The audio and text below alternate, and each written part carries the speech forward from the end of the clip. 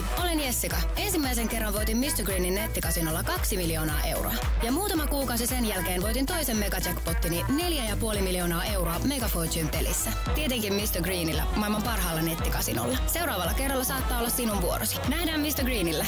You can bet your dollar down on Mr. Green. Moi!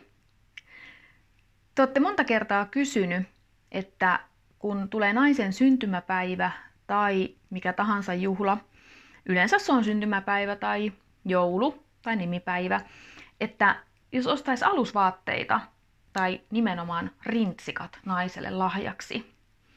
No, itse asiassa ensinnäkin semmoinen pointti, että jos et sä nyt ihan tasan tarkkaan tiedä sitä naisen omaa mallia, mitä se tykkää käyttää, tai sitten nimenomaan, melkein sanoisin, että pitää olla kyllä nimenomaan mallikoko ihan niin kuin tasan tarkkaan tiedos, koska jos sä lähdet ostamaan vaikka sen D75 ja se onkin ihan eri, eri kuin tota, se, mitä sun vaimoke tai tyttöystävä käyttää, niin voi olla, että mennään aika pahasti pieleen, koska aina niistä tulee niissä mallimerkin, ja siis malleissa eri merkinnöissä tulee niin kuin koko eroja, vaikka ne olisi ihan samankokoiset.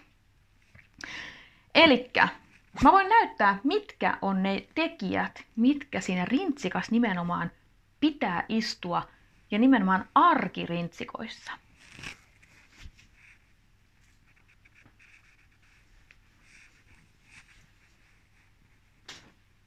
Niin. Eli ensinnäkin se, että se rintsikka istuu kunnolla, se pitää ne tissit siellä hyvin. Kun sä meet kyykkyyn, ne pysyy siellä. Sä liikut muutenkin, ne ei saa tulla niin, että se nänni tulee pihalle. Sitten toinen on se, että se on peittää täältä sivusta tarpeeksi edelleenkin. Jos se lähtee meneen tälleen ja siitä tulee semmoinen kaksoistissi, niin puhutaan siitä, että se rintsikka on todellakin liian pieni. Okei, se voi olla jonkun mielestä kiihottavaa, mutta se ei varmaan ole se tarkoitus siinä, kun niitä pidetään.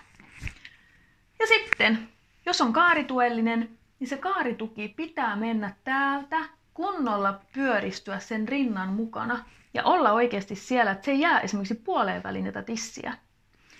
Ja edelleen mä korostan, erikseen on ne teidän omat makkaririntsikat, mitkä esimerkiksi on puolikupeilla tai jotain, mutta älkää ostako tytö, tyttöystäville tai vaimokkeille ne niitä sellaisia, jos ette ole varmasti varmoja, että ne tykkää niistä. Tämmöinen tällä kertaa.